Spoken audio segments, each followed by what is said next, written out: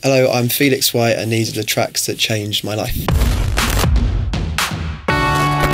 Best of Van Morrison was the first album I'm like learning the whole way through with my brothers. There are a lot of tracks from my childhood, and it's interesting question now because I've been going back to all of them.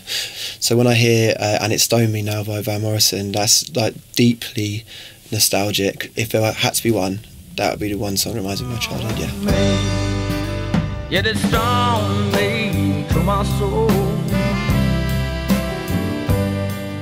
Uh, so there's a Talk Talk song called I Believe in You, which is off an album called Spirit of Eden, which is such an important record to me because the first time I heard it, it was like no music I'd ever heard in my life. Like it all flows into each other and it's really conceptual. I Believe in You in particular is just amazing. Just so, so beautiful, yeah. It tends to do this to people, Spirit of Eden. It like really like gets you in quite a like place you can't get rid of. So I got into a phase of um, anytime anyone was around the house, I'd make them all lie down, quiet, and listen to Spirit of Eden in its entirety. I mean, people, some people lasted like two songs, some people lasted three songs, but I was always really insistent on it.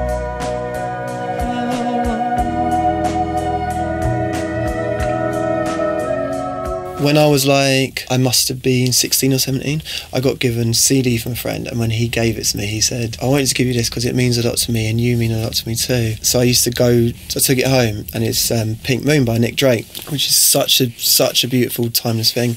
But I used to fall asleep to it um, and make it, be really quiet. But because I was trying to fall asleep to it, it felt like it filled the room as well. To this day, like if I can't sleep, that's what I listen to and it will always help me out.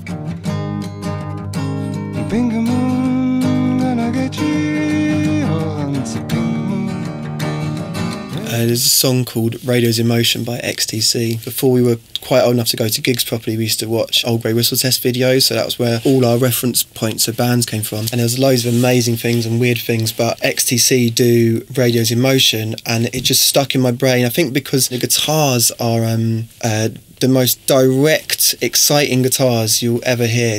I don't know how they did it still. And on record, it's beautiful and it's got the best ending ever as well. It goes. I remember thinking, why doesn't every song end?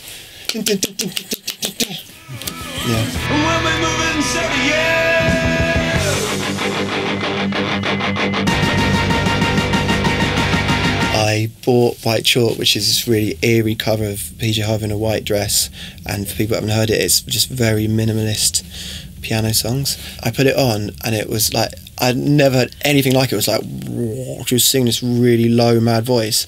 And I listened to the whole thing, and I was phoning up people going, "Have you heard this record? It's so brave. It's just like whoa."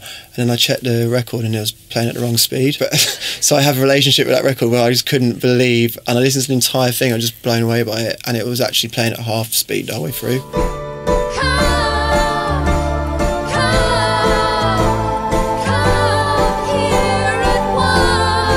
Couple of years ago, I sort of stumbled across Peace Trail by Neil Young. Songs are sometimes really amazing when they just come out of nowhere and find you and they tell you something that you really need to hear like, at that moment in your life. So lyrics go, um, up in a rainbow teepee sky, no one's looking down on your eye, that's just a mirror in your eyes.